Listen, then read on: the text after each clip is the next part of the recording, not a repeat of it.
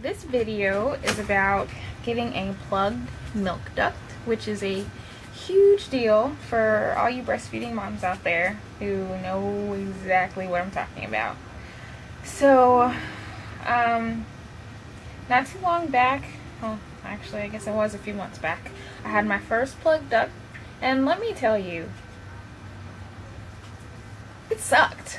it sucked pretty bad because it didn't want to go away. I tried all the usual recommendations that you find online the moist heat before nursing and pumping to make sure it's absolutely as drained as possible um, compressions while nursing and or pumping on the plug duct um, cold after or before in the event that it's swelling um, and it just it wasn't working. I even took extra hot showers to try and loosen whatever was going on in there up a little bit. Sorry, this guy's ready for a nap he just wants to be on his mommy.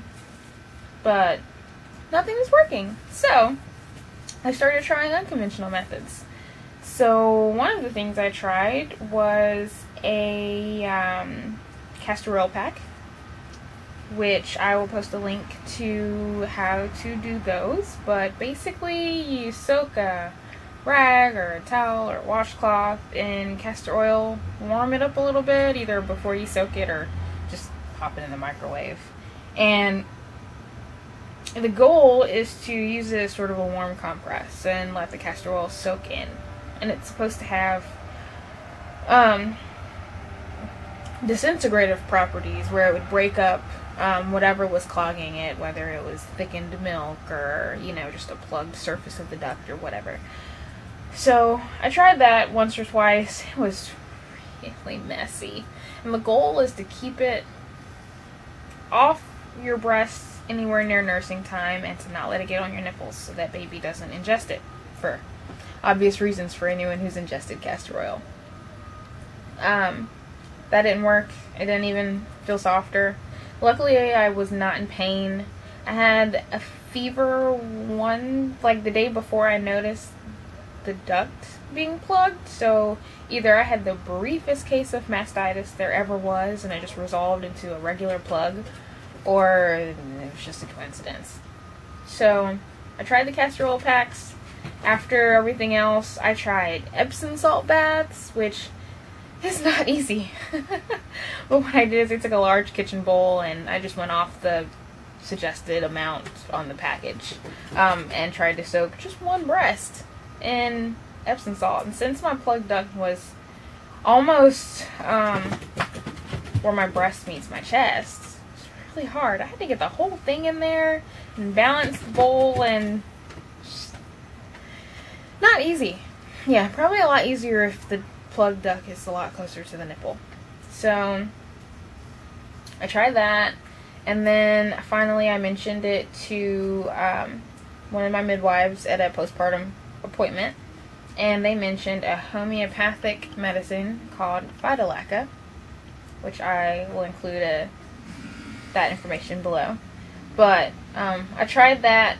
It seemed to make it go down uh, it was just little pellets that I dissolved under my tongue.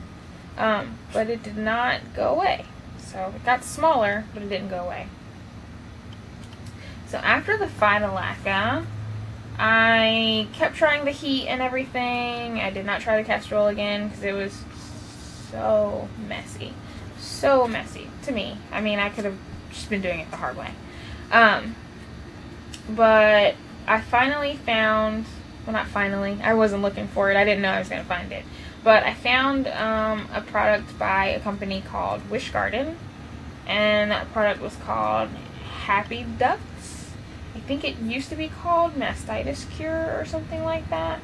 Um, which was a tincture. It was disgusting. It was absolutely nasty.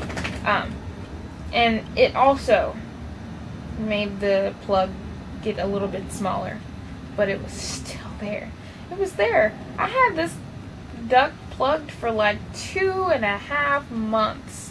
I mean, usually at that point you're looking at recurrent mastitis and I guess I was lucky, maybe because I was taking all of these things, it was preventing it from swelling and getting worse, but two and a half months, I think, is, is what I was looking at. Yeah. So I took that, it didn't work. I finally, I asked, I went to my regular doctor and was like, is there anything you can do? She said, oh, I think it'll clear up in a couple of weeks. And I'm like, dang, you know, because it's been a lot, a couple of weeks. but um, she said she could have someone else, a specialist, look at it if I wanted and didn't really sound necessary. So then I went to my chiropractor, whose office is trained in ultrasound sonication um, to break up the duct. And so I mentioned it there, and they were like, yeah, you know, if it's a concern, then we can do that for you. And so I had them perform ultrasound on it, and it took like a week and a half after that, maybe, and I suddenly realized that it wasn't there. So after all of that, apparently the only thing that worked on mine was the ultrasound. So, food for thought. If you ever get a plugged duct and moist heat before and during nursing and cold after, or cold both before and after if it's really swollen Epsom salt baths, uh, Phytolacca, Happy Ducts, last resort, ultrasound. Uh, if there are any questions, let me know. Be happy to answer them. But I went through a lot just to get rid of a plugged duct, so I figured it'd be useful to have that information out there. Thanks. Bye, YouTube.